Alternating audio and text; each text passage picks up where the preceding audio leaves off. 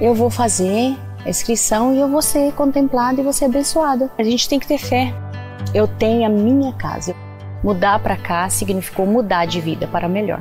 Estou muito feliz. Mato Grosso do Sul é o estado que mais investe recursos públicos por habitante no Brasil. É o imposto que retorna em forma de obras, serviços e melhorias na qualidade de vida. Mato Grosso do Sul, o estado que cresce com você.